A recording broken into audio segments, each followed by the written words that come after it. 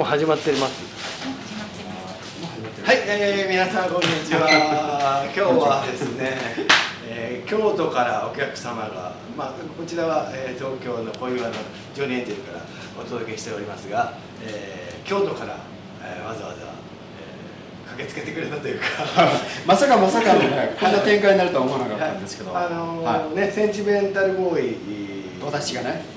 はいそうです。さん、はい、で京都はもう定期的にイベントやってもらってるんですが、はい、明日最後ですね。明日明日。レッツゴー若大将っていう、はい、昭和歌謡ヒーロー伝説。はいはいはい、はい、レッツゴー若大将。加山雄三さんですよね。はい。その曲をリスリスペクトして、うん、その曲ばっかりやるという、うん、はい。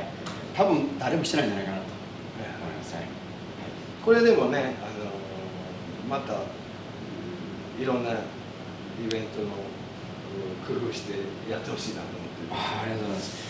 えー、まあ、まあ明日で一応一旦区切りをつけて、えー、北社長といろいろね相談させてもらって。でで実は僕の横にいるのがそうここの間23 7月23日に京都の方でそうですね。1か月ちょい前ですね。ゲストで登場していただいたゆっきさん。はいゆっきです。今日は僕初対面なんですけど。はじめまして、はい、はじめまして。すごいあの北さんはあのブログ上では拝見してたんですけれども、はいはい、想像通りのイケメンでドキドキしてます。反町隆史似てるちょっと似てる。実はこれあの全然前振りなくて反町隆史の大ファンなんですよ。そうなんです、えー、それで言ってなかった驚かそうと思って。皆さん反町になろうと思いました。ということで、女性ファンはね、はい、昔は、はい、GTO の頃言われてましたけど。あやっぱり言われたことある GTO の頃。じゃあ髪の毛もこう似せていや別にそんなことないですけど。反町の曲は歌われないんですか？いや僕あんまりよく知らないです実は。GTO 2回ぐらい見たことあります。なるほど。言いたいことも言えないそんな世の中じゃあの気をつけてください。いきなり歌い出しますから。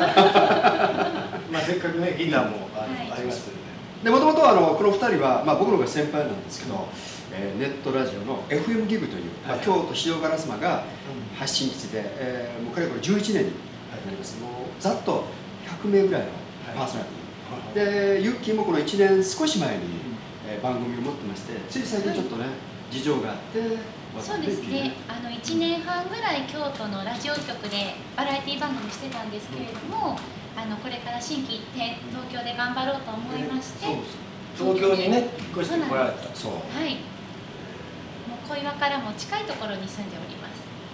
まあ、来る時はちょっと迷いましたね。京成の小岩なのか。まだ慣れてないので。帝釈天からね。帝釈天の寅さんのほら僕初めてなんですよ寅さん京成小岩駅で言われたらね近いと思いますもんね。そう。何の何のお前らさんに聞いたら15分ぐらいまで歩くと、で彼女顔色が変わってね。でやっぱ北さんが待ってると思うじゃないですか、僕はバス乗り直しました でもやっぱ来たらすごくいいとこですよねそうですね。ゆきね。そうですね。なんかすごく下町だけどにぎわいがあるところですね。ゆきさんは葛飾区。葛飾区に住んでます、ね、なんで葛飾区選んだんですか？えー、なんか最初はもう少し都会の方に行こうと思ったんですけどこうなんか性に合わないと言いますか葛飾の下町っぽさ、人間の温かさが感じれる雰囲気が分かったのでやっぱそういうところに住みたいなと思って。よかったです。下町仲間 葛飾いいところです葛飾 FM っていうのがあって、はい、あそうありますよね。全国のコミュニティやれます。うちらもちょっと番組持ち込みたいなと思って。まじゃあ一緒に。まだタイプしてないんですか？タイプはまだしてない将来例えば北さんねここのここが本店でまああの僕がお世話になってるところが1年教育業というですよね、はい、この間1周年終わりましたけど。で僕も本当5月からですもんね。北さんのご縁っていうのは、ねうん、たまたま僕東北で、えー、復興支援ライブということで、はい、昭和歌謡をやってるんですけどみんなで歌おうという、まあ、歌声喫茶、ね、若い方はイメージになると思うんですけどそれで帰ってきてジョニー・エンジェルスの名前は知ってたんで、はい、一度電話しようと思って電話したらもうやってください。いきなり。ちょっと集客すぐ自信ないって。言ったんですよね,、まあ、ね当時は本当に困ってた時期で今でこそね、うん、なんとかいろんな人がそこから今ほとんどももうスケジュール埋まってますよ そうですね。あれねでもあの時期本当大変でもそうなんですか？精神状態もねえやばかったですえそんなことも全然わからなかったんですよ本当ですか？えそうなんですか？もうはもう救世主だったんですよえええそうなんですか？よかったですね。あの僕ビリケンさんとか言われてる。そう冗談ですけどね。ビリケンとも知らない人いるから。はい。えそうだったんですね。私がなぜかうん。このギターを持ってますけれども私はギターは弾けないのでこっちか。小林さんにパスしたいとああ思います。のまあ、僕もねえーギターをやるんですけど昭和歌謡。の中にグループサウンドもあるし、はいえーフォークもありますよね。ただあのえジョニー・エンジェルさんの場合はどっちかというとオールディーズからスタートそうですね。オールディーズの箱版からなるほどね。もともと北さん自身ご自身がやっぱそのオールディーズがお好きなんですよね、好きですよね。そういうおでも店の雰囲気もそういう感じがしていいですよね。また京都と雰囲気は全然違うよね。全然違いますね。ビシバシとこうオーラをうん感じて。なんかその下町から地下に入ったら世界が一瞬で変わったのでうんうんうん。すごい引き込まれました。あここにやりたいと思うよねゆきね。ね素敵ですよあねや。ってください。でまあ北さんのねその20年の中のいろんなご経験の中でやっぱりオールディーズはずっと多分メインでされてきたと思うんですよ。それから、まあ、京都でもされてますけどビートルズが。今ロック昭和から人気ありますよね。え例えばどんな風にやってますこちらこっちはバンドでやってる人が多いから今日も来月やってくれる人が。あの女性ボーカリスト名前はちょっと存じ上げてませんけどいますよね。結構いるんですよあ他にもいらっしゃるんですか？うん。ああそうなんですね。だからはいはい。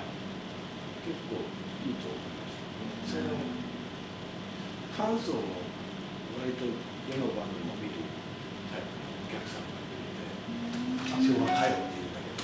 あということはやっぱその20年の中で、まあ、あそこに行けばうん。何かあの音楽楽しい音楽イベントをやってるとライブやってるというような感じで認知されてるんでしょうかねまあそ地のバンド自体がねね人気あったりします。からあそうですか。だからそれ絡みもできるあのえゆきさんも昭和歌謡だった私はですね、あの小林さんと一回京都でペアで組ませていただいたんですけどこの時はご当地全国歌声ツアーっていうものをやりましてい。つも小林さんがやってる歌声昭和歌謡だけじゃなくて私の MC 付きであの全国を巡っていただく歌声でっていう企画だったんです。でそれのバスガイド役をしまして、で歌は何曲か歌わせていただきました。うまくないんですけどね。その中に「ゲゲゲの鬼太郎」があったり「ひょっこりひょうたん島」っていう僕はあの彼女なりちょっとこっちでもやってくださいよ。いいんですか？面白いでしょ？あの正直な話ね。やっぱり MC できる子いっぱいいると思うんですよ、うん。でもそこから次の段階例えばじゃああのご当地であるんです。あの鳥取に行けば、あの水木さんのふるさとなんですけど、はい。当然そういうオブジェがいっぱいあるんですけど、ええそこに行った時やっぱ「ゲゲゲの鬼太郎」歌うべしでしょ？はい。はい他にもあるんですけどじゃあ僕が歌うよりは適任者がユッキーかなで彼女はね私モノマネとかも好きなんでつい目玉の親父の真似しちゃったりとか。楽しいでしょ？この東京の人にとったらねう。んこう弾いてしまうんじゃないかっていう心配があるんですけどこう滑り芸だったりするかもしれないんで大丈夫ですか？大丈夫です。大丈夫だからね多分ね歌声喫茶ってあの今静かな部分でその中に昭和歌謡ももちろんあるし唱歌もあったりするフォークもあるんですけど多分もうある程度スタイルが決まってるんですよね。例えば新宿だったらともしげさん。それはもうもう本当王道なんですよ。でも僕がやろうとしてるのは変に気をてらうというよりはそういうふうに慣れ親しんだ方が次のあ想像つかないんですよね。でそれをこう組み合わせして MC がこういうふうに加わってただ曲の説明をするというよりはそのご当地という一つの何ていうんですかね、えーものを投げてそこに広がるイメージ。そこからまあちょっと理想的なことで言えば日本をもう一回発見するあいながらにして旅気分を味わえる、はいはいそれ今勇気がやったような、うんそういうなんていうんですかね楽しいその、えーアニメソングもあったり。こうバスツアーでね回ってるような感覚になってもらえるライブっていうことです。バスガイドのそう。ももちろん確保しますよ。制服はさすがにね借りられないんで それらしきものを。やったよねでもいいですベスト着たりねしてそう。でねだったら1回きりだったんで正直彼女も忙しかったんで、はいあのいろいろ司会とか、僕もねいろいろややることがあったんで課題はね山積みなんですけど、うん。またこれから2人で相談して今度はこうしようっていうのも相談済みなんで。喧嘩ね取っ組み合いの喧嘩しながら。また頑固なんですよ先生。なんでなんでなんでね。頑固なんですよって。だからもしさせていただけるならばということで。いやもしえあの小林さん次,、はい次回もし来られる日程とか合わせて一度合わせて。えそうですね、まあ、その前に彼女ともやっぱりもう一回ちょっとね何回かやっぱりやらないといけないかなと思うんですけど彼女もねほとんどプロだしある程度やればほねとんどっていうかプロですからね、まあ、僕といや歌の方はね あれなんで。歌はプロじゃないそうそうそう MC はプロなんでもうストーリーが決まってしまえば大丈夫大丈夫そうそうだと思う。あーゆっきさんはご実家は京実家は埼玉なんです都実家は埼玉。そうなんです。二十歳まで埼玉で育ってまして、学生時代は東京の代々木とかまで来てたんですけどそうなんですから久しぶりに戻ってきてやっぱり約そうですね何年かいたんですね京都。だからこの関西乗りが抜けないところとかもあったりするんですけどちょっとずつこう関東のあそういえばこんな感じだったなっていう懐かしさを今少しずつ吸収してます。まあ、すっかり関西人になってた。らなってたのかもしれませんね、まあはい仕事の関係で京都。そうですね。なんかそうですね。はい。その時は。向こうではそうですね。司会、MC、イベントコンパニオンとかそういうのをしてます。まあ、だからその辺で、まあ、勝手なあの要望というかね、えーまあ、北さんがあの OK 出るかどうかまたね、違うあのあると思うんですけど、まあ、僕の中のその持ちネタの中で演目の中で、まあ、王道の演あの僕単独での、まあ、ピンでの歌声喫茶これもあります。もちろん。範囲が広い。ねそれは一つ置いといてこれよかったら昼でもさせていただければ。はいはい。出やすいのかなと思います。それから夜のライブやっぱライブはやっぱエンターテインメントショーがということで、えーこういう若大将のものとか、えー次考えてるのは裕次郎 VS アキラとか。はいはい。裕次郎分かるんですね？石渋い渋いとこですね。あのうん。どうでしょうかね？そんなの。近所にねユエンランドっていうのがあってそこは割と演歌とか、ねその世代の人がので結構いいかもしれない。あそうですか。それもデータが入ってるわけですね、そうですねまあ、それとか、まあ、グループサウンドと一人でやってもねあんまり良くないんですけど一人 GS もあるし、まあ、その前にあの橋幸夫さん西郷貴子さん、えー、船井和夫さん三谷さん四天王御三家プラス1で四天王、まあ、そればっかり詰めてやろうかなとか、それははい計画ですンランドに営業行ったら結構食いつくと思いますユエンランドってあの、ん。なんだろう、えーサウナというか、えー、お風呂屋さんがあるんですよ。まあ、あるんですね。健康ランド健康ランドもね。はいはいはい。その年代の人多分多いと思いますそれもいいですね。面白そうね、ねまあ、それでうちのミュージシャンもたまに営業演歌で。普段ポップス歌ってるのにそういう日はえ演歌で。そんなんで演歌っていうのなんですねあすいませんしょうがない。こっちじゃなそれであと一つはユッキーとのこの日本、えー全国ご当地歌ネタはい。これをやっぱりね形にしたいんですね。これは面白そうですよ。ですよね。多分どうですか北さんもあのこんなんやったやってる人知ってます？いやあのここまでねあの、うん。エンターテインメント。企画っぽいですよねそうそうそうそう。やれる普通にねバンドやるんじゃなくて歌ばっかりとはまた違う感じになると思います。ぜひさせてくださ素晴らしい。いいいですかでもしスケジュールがはい決まったら、うちでやってもらってるはい。昭和からのバンドと抱き合わせしてへーあ面白いですねすごい楽しそうですね。はいはいはい。夢が広がりますね。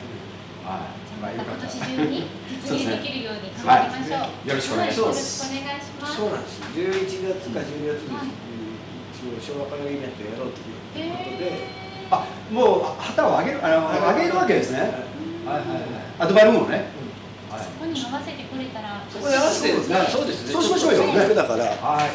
小林さんまたバスで言っときますので。バスで来ないと。高速バスで。経費節減。え ーもう決まってるんですかそういうの決まってます。そういう週あのウィークがあるわけですね。昭和歌謡スペシャル。一日だけ？11月30 11月30だけ。だ日。もう入ってるんですか誰か？入ってます。まあもしこれこの日がダメでもその前後に入れたらいいよね。他の日にはい。企画しますので。はいはいはい。一応11月30日にそういうのやろうよとは言っております。誰かもう入ってます？一応その昭和歌謡バンドがそれは夜ですよね。夜。昼でもまたいいですよね。そうですね。ただまあ一緒にやってもいい。ですうん。大盛り上がるですよね。一緒にやった方がいいんじゃないですか一緒にやってるただ歌声ツアーはちょっとやりづらいかもしれませんね。もうこっち企画もんなんでね。だから歌声ツアーは歌声ツアーだけでちゃんとカチッとした方がいいかなと思います、まあ、どちらでもいいんですよ。別の日にね。別は別の日でもいいし、まあ、それお任せしますわそのコンパクトにまとめてもいいあお試しみたいな。わかりましたわかりました。3曲とか5曲とかにして。了了解了解。はい。それが実現できるように頑張りましょう。はい。はい。あれしてみてください。はい。はい、よろ調整してしくお願いします。小宮さん一曲歌われなくていいですか？チューニングできてないいやせっかくだからいやいやあのこの辺も大丈夫ですよ。えそう？大体。大体じゃあせっかくなんでどっかバスツアーで行きましょうあバスツアバスツアー覚えてるかな？ー何？にどっか。湘南？湘南ですか？うーん。君といつまでもあの辺なんか湘南ができそう？湘南で何にしよう？結局。湘南にしましょうか？湘南で。サダもやってるんだけど今学校がちょっとわかんないんで、じゃえーそれか思い出のさなぎさでもいいし君といつまででしょうか？じゃあ君といつまでも、はい。せっかくだから、あそれはどこどこまで？これ？君といつどこまで？えー。セリフは言う？幸せだなって言ってバスガイドの人。適当にじゃあじゃあもうもうアドリブではい。もう決めて決めてないんで。じゃあ MC からいきます MC ね。までどうぞ。はい。浅川坂田天下はい。さあ皆さん。さざ波の音が聞こえてきましたね。ここは憧れの湘南です。湘南といえばやっぱり海。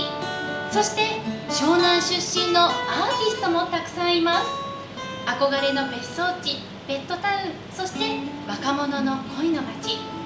今日皆さんに届けたいのはこの曲です。一緒に歌ってください。それでは加山雄三「君といつまでも。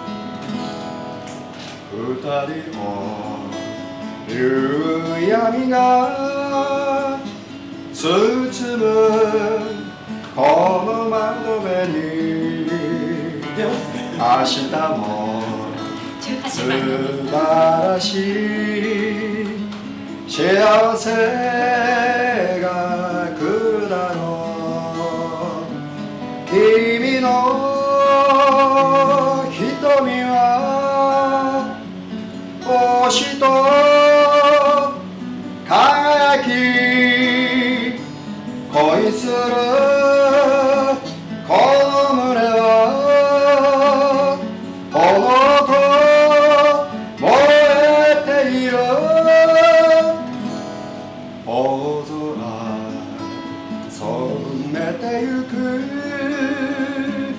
夕日色あせても二人の心は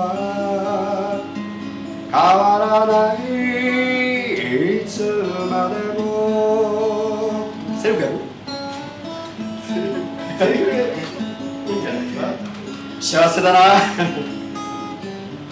僕は北さんといる時が一番幸せなんだどういう関係僕は死ぬまで君を離さないぞ。気持ち悪いです。いいだろ。うよくない。よくない。君はそよ風に髪を溶かせて優しく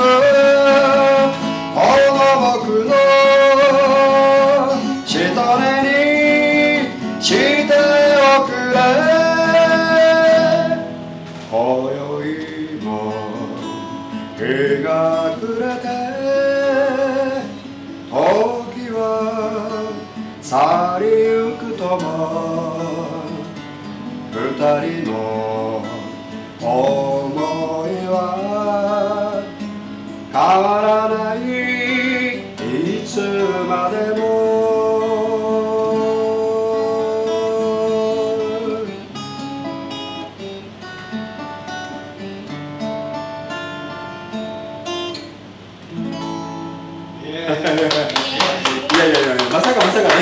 こんな展開になるとはいやいやすみません。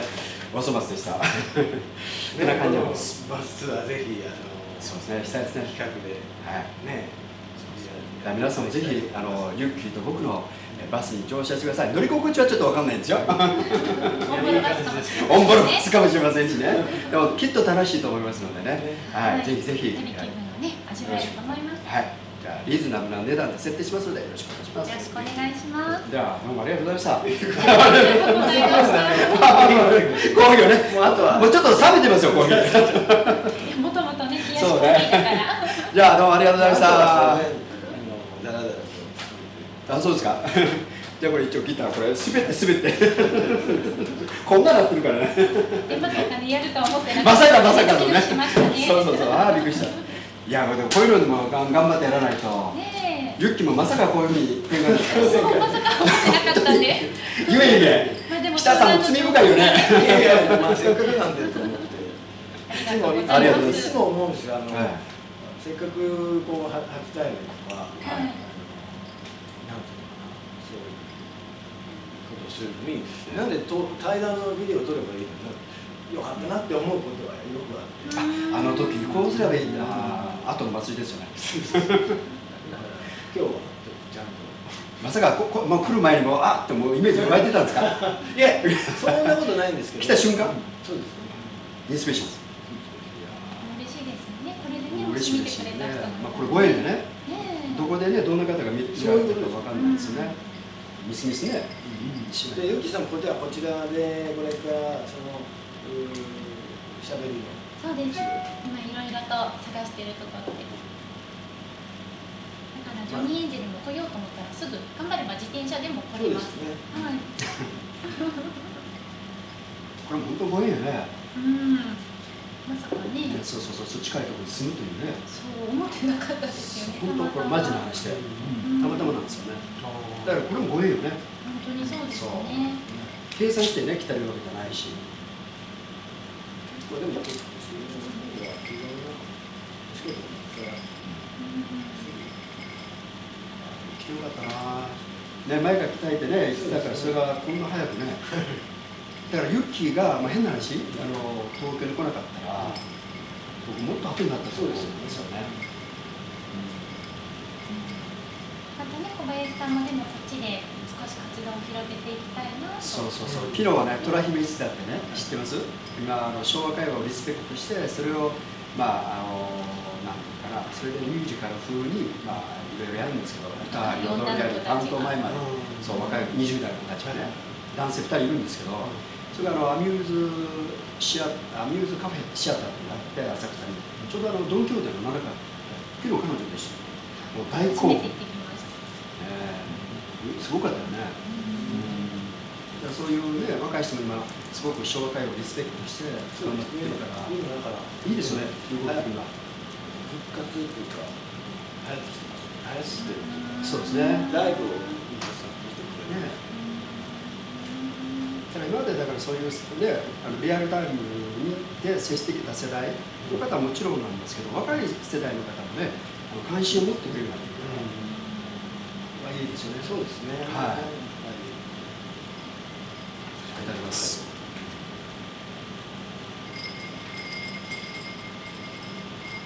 私は小林さんと出会うまで昭和歌謡とか知らなかったんですけど、昔のアイドルの曲を高校時代にダンスで踊ったりとかはありましたけどそれぐらいしか知らなくてでもこう歌声キッスでそういった歌本をもらえるっていうのがすごいいいなと思いました。なるほど。な。これを配れ配るんですか？そうです。もうもちろん、えーいいで今回はまあ本当正直な話もうフライヤーも作る時間がなかったのであの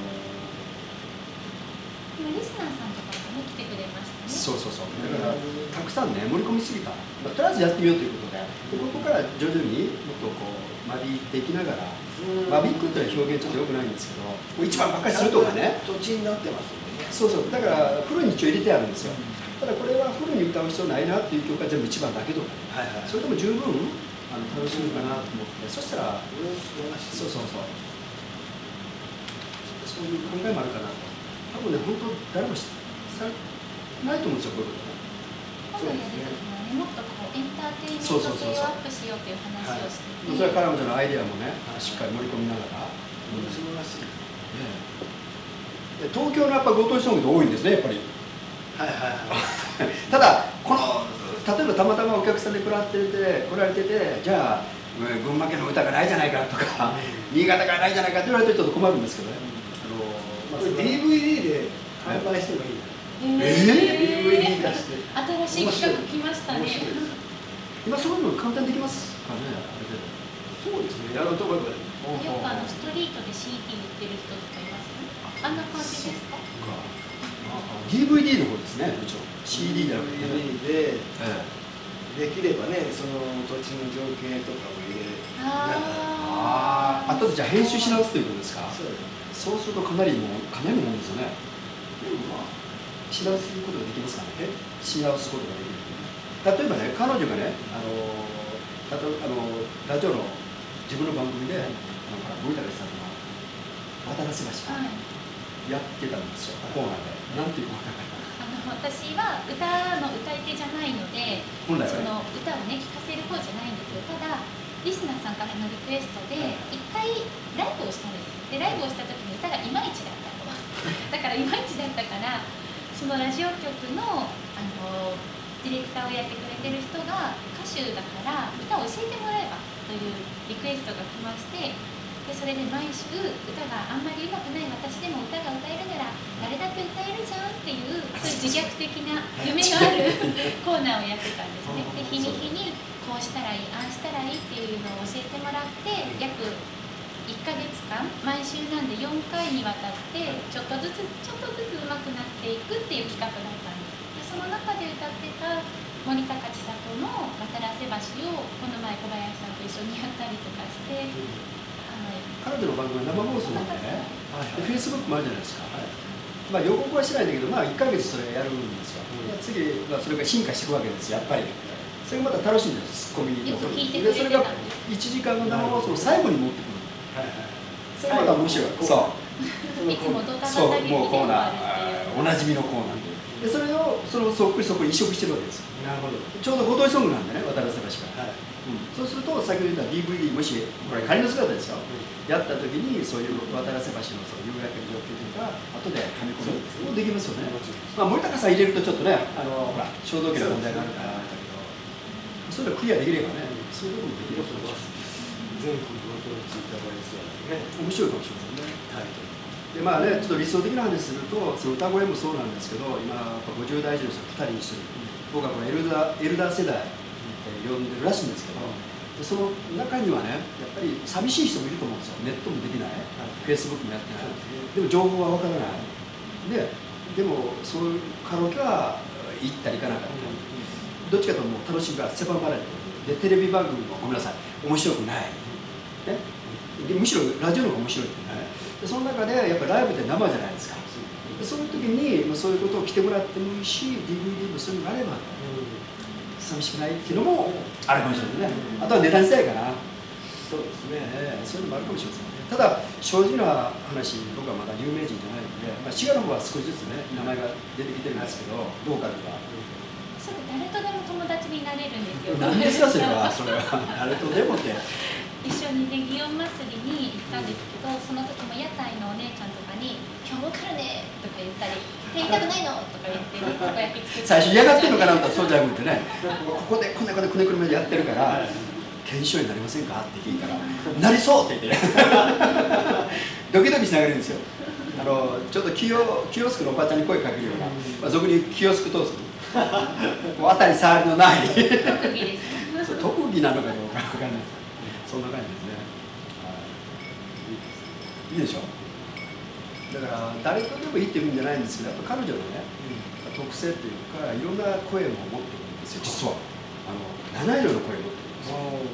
興味ありました言い過ぎかもしれないですバスガイドだけじゃなくて。バスガイドという一つのラそういうジオの中でいろんなキャラクターを演じてたので、へー。あのモノマネコーナーをする時もあって本当にいろんなモノマネしてあとは何ですかね朗読をしてみたりとかまあいろいろトーンを変えることができるのでそれでですかね。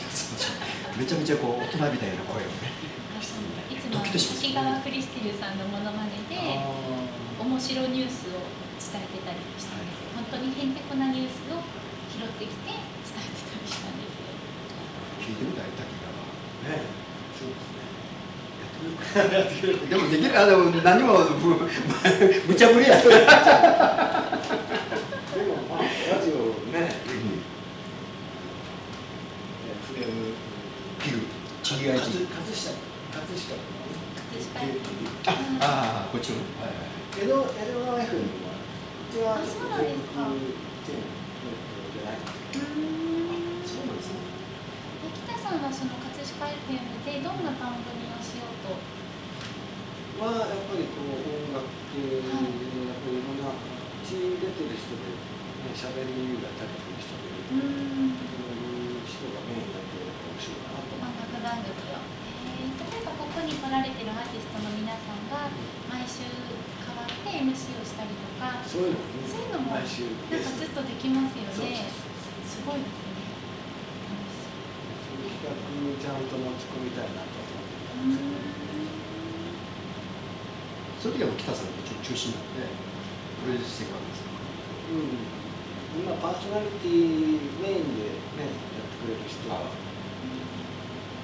そうだった。ので、女のね。本当だからそういう点ではまあまあね私は先に、そういうまあユッキーもそうですけど経験させていただいて、はい。貴重なね今もねそのまあ試行錯誤ではあるんですけど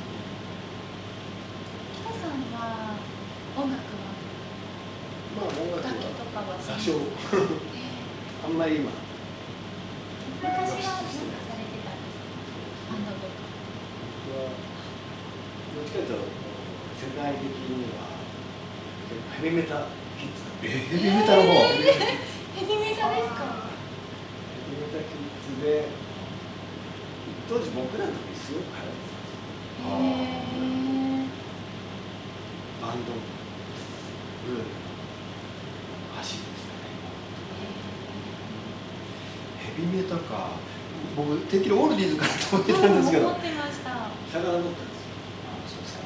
そういえばそのオールディーズでちょっとね。あと浮かんだのが菊池店長。はい。はい京都の。はいここですよね地元で地元そうです。でもうねここでバンドやってたんですよね。バックバンド。ギター、ね、彼はもう小小学生っていうか中学生ぐらいの時から。その時は入り浸った入り浸ってたお父さんとお母さんがビートルズ好きで。あそうですか？あその影響わけわかんない。くてでもそれそうやろゲームねしたり。こうあのね、やるようになってね、すごいですね。でもオールディーズはなんか肌に合うと言ってましたよそうですね。好きって言ってましたねお客さんは何歳ぐらいの方が多いんですか。やっぱ年配の人の方が多いまあ最近は若いアーティストとかもその時は若い人来ます五十代とか、六十代とか。バンバンドによっていろんな演奏が変わる昼もやってるんですか。昼はたまに時々。ね20年ここのうちでされてきたっていうのはすごいことでしょそうですすごいことですよね。やっぱりなかなかその20年続けられない。今日もねまあ本当一言で、まあ、恐縮なんですけど御徒町の方も今日行ってきたんですよ、はい。で昨日は柳川っていうところを見てみていろいろ、まあ、本だけじゃわからないところねいろいろこう探索しながら、この目で、えー肌で見てきたんです、まあ、天気はね残念ながら良くなかったんですけど今日はその上野からね御徒町の方で、まあ、そういうアメ横とアメ横とって佐賀佐佐賀佐竹佐竹鳥越っていうのあっちの方行ってみてで帰りねなんかフォーク酒場が名前出したら僕知らないんだけどフォーク酒場があるよと御徒町と秋葉原の要は線路沿いの向こう側にある何軒かあるはずでそうそうでそれでちょっととりあえず行ってみようかなと思って帰りね上野に戻る時に寄ったらもうそこがねなかったです。3ヶ月ぐらい前にもう閉店してた。よってショックでしたね。なんか寂しかったですね。だから何年されてたかちょっとわからないんですけど名前も存じ上げてないんですけどやっぱりすごいやっぱりねあるなとそうですね。まあ、それは現実問題で、だからそう思ったらすごいでしょ。まあそうですね。もう20年続けようと思ってたわけだけど気づいたら20年経ってたみたいな。それがすごい。そんな感じででますますこれからね可能性があるしこうしようああしようっていうねいろいろ夢というか可能性をね持ってらっしゃるからねその中でね今勢いのある中でこうやって出会わさせていただいてねまだまだあの本当力不足でまだ及ばないんですけどえいえ僕も本当に精一杯はいもっと勉強してね皆さんに喜んでいただけるようにしたいなと思いますけどね。またじゃあ明日イベントの方が終わってとりあえずね一応終わりますからはい。とこれです。明日今日のはい。イベントやっております。もう若大将よろしくお願いします。またじゃあその後は仕切り直してそうですね仕切り直しですね。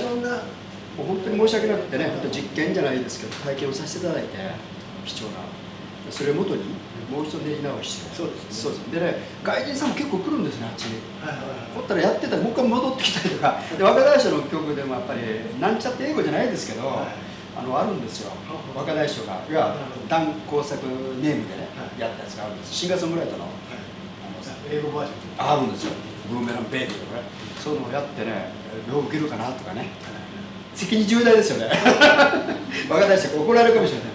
お前の英語はそうじゃないとかねでもなんか喜んでもらって、うん、よかったなと思います、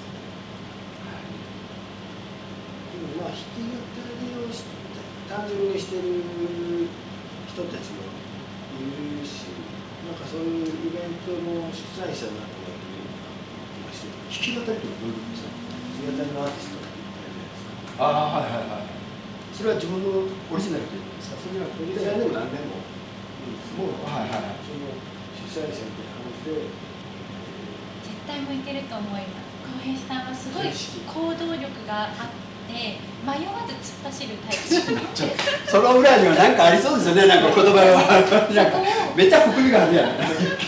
そこをね誰かがちょちょっと行き過ぎじゃないって例えば北さんとかあの言って差し上げたら小林さんすごくいい感じに動いてくれる。なんですかそれは。今回の企画もねどんどん話が進みましたしね。そうね DVD がいいと思いましょうか頑張るねね入れます入れますうわすごいわそんなのねさすがにまずがいるあの彼女にね実は「田舎のバス」というあのな中村芽子さん有名なねコマーシャルソング田舎のバスって多分それなりの年の方はご存知かと思う昭和30年そうですね上を向いて歩こうぐらいのあの前後ぐらいかなこれはあの要は路線バスの歌なんです観光バスじゃないんだけど当時やっぱりアスファルトのないところもあるじゃないですか。ね、それとは片方道があったり牛が出てきたりパンクしたりそれを歌の56分ぐらいに収めたもちろんセリフがしたい。半分がセリフ。あとはもうすごい鉛の効いたセリフなんです。それを、まあ、僕の独断と偏見で彼女にね歌ってほしい全然知らない歌で。全然むしろ知りませんよ。ねむしろあの小林さん以外の人で知ってるっていう人もいなかったんですよ周りで。それぐらいな無茶ぶり。だったんですけどまあやってみようかなと思って聞いてみたら結構楽しい曲で、あの次こそはねもっとクオリティを上げてモノマネをしていきたいなと思って横でね一生懸命カラオケでも練習してねカラオケ店そうでですね。そうそう。あの彼女が一生懸命やってる姿見て僕は間違ってなかったと思いましたね彼女のノリのすごさ。でセリフが生き生きしてるんですよ。でやっぱり中村芽子さんって当時多分20代前半ぐらいだったと思うんですけどあのすごいやっぱ才能の方ですよね。で去年の五反田の何かの音楽の、えー歌謡祭かなんか50周年かなんかの時に当然司会で出てらっしゃったんですけど田舎のバスはやらなかったんですよ。みんながこう拍手があったんだけどどっかでやっぱねあのされてたんですけどすごい人なんでそういう意味の僕リスペクトもあるんでできたらそういうのを彼女は知らないけどちょっとバトンを渡したいな。で彼女をそっくり真似真似してほしいっていうんじゃなくてユッキーらしさで表現してくれたらそれで構わない。一軸その通り言えてみなくて。でそれを彼女は理解してくれたのねそれでちょっとこう言ってたよね言ってね。そうですね。小林さんはもう会って分かったと思うんです あの。すごいね突っ走って暴走タイプなんですよね。だからたまにわかりますよね。たまにね私の話を聞いてくれない時もあるんですけどだからこそ本音で言い合ってクオリティ上げていこうという話でね進めてきたんです。まあでもお互いある程度は腹割ってねそうです。言わないと遠慮しがちだったら多分いいものにやっぱクオリティ高いものにならないと思うんですよこれ操作カスタムそうですよね。どうですか北さん？その通りです。ですよね。遠慮がちに言ってたら中途半端なものしか多分できない。それはやっぱり大衆的には伝わらないと思うので。ごめんね半分以上聞いてなかった。いやそう。こういうねやっぱ天然なとこもあるんですよ。でもしっかりしてますよ彼女は。めちゃくちゃ。わかるでしょ？見ててはい。はい、かるでしょ？言わなくて。も だからこの若い人、まあ、ユッキーに限らずやっぱり昭和歌謡の知らない、で世代もうんとこれからいるそれをうまく僕らのね、まあ、北さん北さんの音楽その若い人にどうバトンタッチするかという僕らはどっちかというとミドルエイジ的なあの役割だと思うんですね。難しさだね。そうですね。それこそバス会社とかとタイアップして それができたら一番あ実いいですよね。は旅行会社とかあのこの後ろにねタイアップしてるとこもらってるところがあるんですけど明星自動車観光。京都のまあ老舗の、まあ、いいでしょ明星ああいい。って歌本の中出てきそうな明星平凡っていうね。うん。でここにまあ掛け合ったんですけどやっぱりそれ成功を貸すということが、まあ、多分ここだけじゃなくってダメだと思うんですよ、なるほど。ねそうそう。いつか実際にバスに乗って、うん。お客さんも来てもらってバスの中で歌声ができたらそれはもう本当にいいよね。夢ですよね。で東京でやりたいよねですね。やりたいですね。あのもうそうそうもう具体名出すハトバスとか。でもなんかねされてる人もあるみたい。うん。これハトバスじゃなくってもうん。なんか聞いたことあるな誰だかなやってるって。小僕さながちょっと面倒見てた女の子はハトバスに入ってバスガイドやってます。へーえ今も？ああそうですか。じゃあもしかしたら新聞掛け合っていただければね。ねえそれもしさせていただいたらね。そうですね東京の教窟いっぱいあるんですよご当地ソング本当にあるんですよ有楽町に行けば有楽町に会いましょうとか。はい。国会議事堂の前には分からない。あのあとお千代さんとかね。島倉千代さん。あそれはこうこうこんなしてね あれは東京ではおっかさん。浅草とか出てきたじゃないですか昔はやっぱ東京観光ってすごかったですよね、まあ、そういう時代もありましたあおはようございます。おはようございます。社員さんですね。到着されました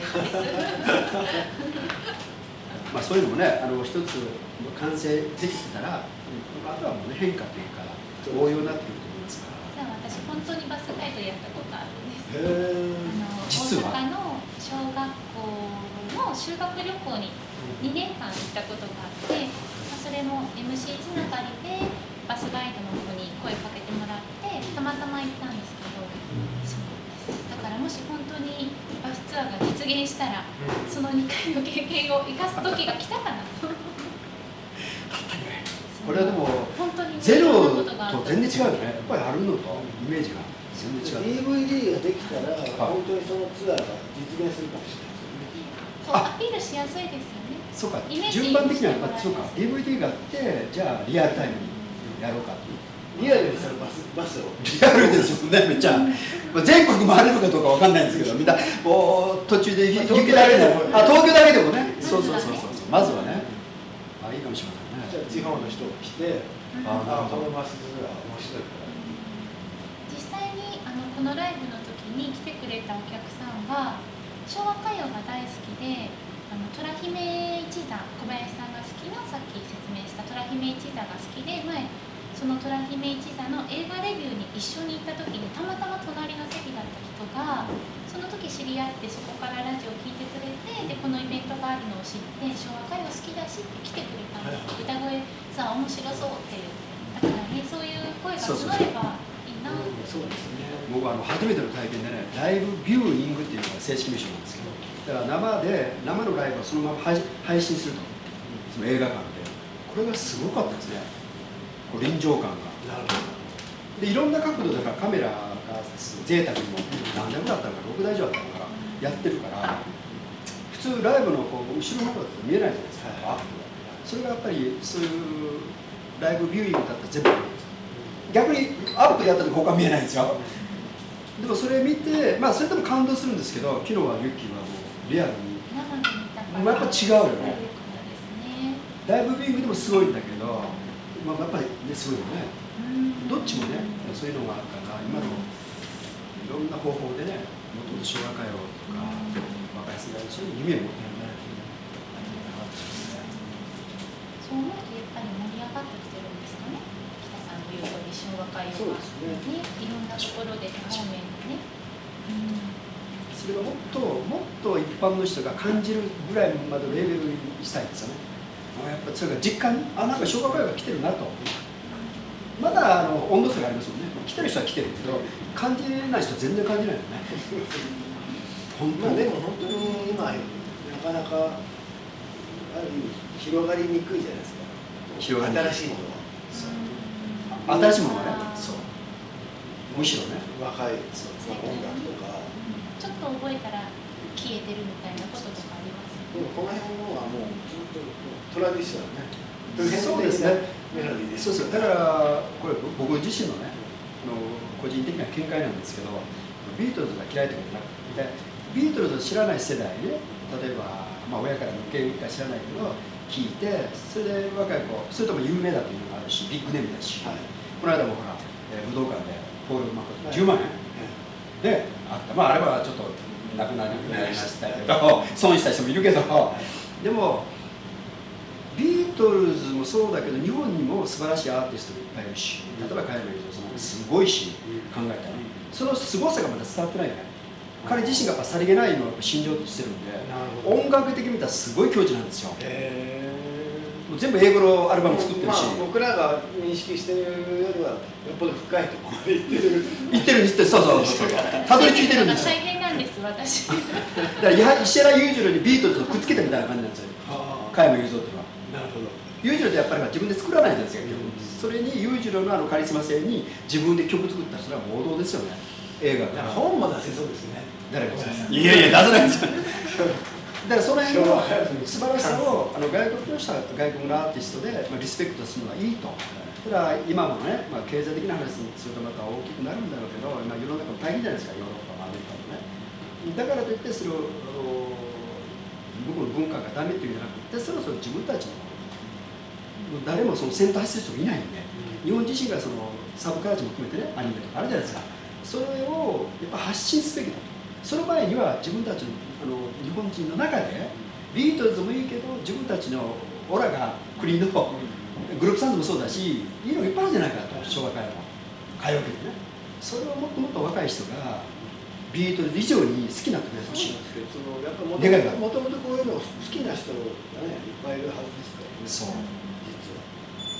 小林さんと話してるとマインドコントロールされてる。なんでですかそれ？マインドコントロール。正直あの私は普段 J−POP が好きだからあの 最近のバンドとかが好きなんですよ。そればっか聞いてるんですけど例えば今気になるのは大原桜子ちゃんとか山崎葵ちゃんとか本当最近の若い女の子が好きなんですね。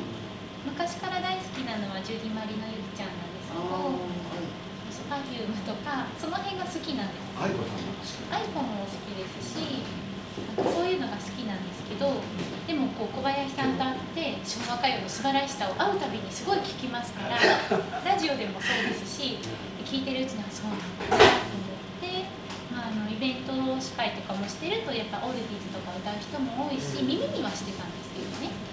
で実際に自分がこのライブをやってみて曲を知って良さっていうのは分かりましたね。詩に込められた思いっていうのが昭和歌謡の方が伝わるなそういうのはありますね。嬉しいじゃないですか、後でごめんあれは違ったんですって言わないね。あれはあの時にちょっと下駄を履かしてますとかレ言わないギュラーじゃないです。やらないよねそれをストレートに今受け取ったからね。はい、はい。後でダメよ。ひっくり返さないでね。嬉しいなでもねちょっとねいろいろやってきたはそれそのぜひあの DVD とかもまあとりあえずは1曲ずつそうですね。アップロードしていけばいいです。あありがとうございます。ね嬉しいな。それを集大成が DVD えー、ねえ。車 DVD なんか D も出てくるんだね。そうしてなかったですね。まずどう？あのこっちの小岩店の方でさせてもらえるのかなどうかななんか言ってたのにねとりあえず見に行こう会いに行こうっていうね。まさかね。まさか DVD まで出るとはね。まずは音源音源はまだ撮ってない。撮ってない撮ってない。何も撮ってないだってまだまだ完成してないし。それぐらいは申し訳なくて。音源はすぐできますよね。聞きやすいですよね。そうですね。はい。映像くらいでナレーションうんすごいですね。段階的に映像をね撮ってもらう人映像でも転がってるのでもいいです画像を動かすでその DVD を作るのになんか夜夜中バイトしなきゃいけないとかそんなんですかね工事現場でこうつるしいやなくてもう自分パソコンだからあそうなんですか。小林さん請求書こんだけですっていう。これだってこれだってこれは小林さんそうそうそうこれもう本当にねこのためにもう未然を切りましたよ。デザインも これはあの僕はあのホームページをねあの京都のキネムキッチンさんっていうところであの宇都正大江通りにあるで、えー作ってもらったんです、まあ、そこでも歌声喫茶やってるんですけど。その関係で。こっちの歌のは小林さんこっちは僕もう一なんですよ。こういう細かいことがすごいお得意で。いや得意じゃないんですけど必要に駆られて。すごいまめなんですよ。時間かかったんでしょ？結構。じゃあコラムなんかは結構かかるえ？コラムその曲に関する書いたことはないけれどもやっぱりでもこうやってねあのやっぱ渡すのにやっぱ自分の考え入れるじゃないですか。はい例えば、えーその外国で言ったら統一ソングなんかあるじゃないですか。統一ソングの意味とはとかああいうのを調べてやっぱり入れる。じゃあ日本の統一ソングって何って言われたら、まあ、それに匹敵する。それをホームページがあれば結構そうですね。だからそこまで、まあ、正直ちょっと言い訳がましいんですけど まだ自分の意見を盛り込んだホームページにはなってないですね、まあ、ブログにもなってない。ただ最低限言わなきゃいけないのはなんでセンチメンタルボールっていう名前を付けたのかっていうルーツとそれから自分の歌声喫茶に対する音楽それは一応ホームページにはセンチメンタルボールの中に入れてます。よ、はい、徐々に言ってるんですね。そうですね。徐々にね。まあそれが集まったらまあ、クオリティはどうか知らないですけどですよね。だそういう点では、今の FM ギグの昭和歌謡メモリーズという番組が、それは勉強になってますね。通り一辺倒の解説じゃあれだし、かといってほとんどがね、ネットで書かれてますね。でもそれをまとめるのそうですね。じゃあどういう中で自分はセブンとして話するのか、それから若大衆にしても、そういうのはありますね。こといっぱいできてよかったですね。夢が膨らみましたね。自分の持ってるそのうずもれたやつのなんかこうね、埃で、それパッパッパッと取られてる感じですね。また光って、ね、あ、そうそうそう。表現もいつも昭和なので、日頃から 引き出してくるとか言ったりする。北さんがうまく引き出してくれた。ありがたいです。でゆきさんもこれからじゃあ東京の方を中心にそうですね。いろんなことをしていこうと思うので、とりあえずがむしゃらに頑張ります。ちょっといろいろ絡んではいぜひよろしくお願いします。じゃあどうもありがとうございましたあ。りがとうございました。皆さんよろしくね。こんな感じで結構面白かったんじゃないですか？